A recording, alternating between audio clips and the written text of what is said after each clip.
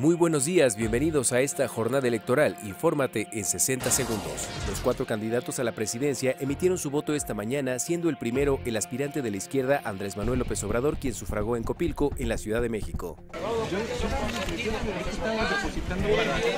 Miembros del Yo Soy 132 protestaron ante el voto de Peña Nieto en Atlacomulco, Estado de México, mientras que la panista Josefina Vázquez Mota votó en el fraccionamiento La Herradura también en la entidad mexiquense. En tanto, el candidato del PANAL, Gabriel Cuadri, asistió a ejercer su derecho ciudadano en la colonia Romero de Terreros, en la capital del país. Y el Instituto Federal Electoral abrió su sesión de Consejo General para atender el proceso electoral y lanzó su primera cadena nacional del día. Visita la cobertura Voto 12 en reforma.com y conoce a Alejandra Becerra, presidenta de Casilla, quien explica su labor en la jornada electoral. Pues todavía le causa mucho confusión porque me decía, pero tú vas a ser presidenta y ellos también quieren ser presidenta.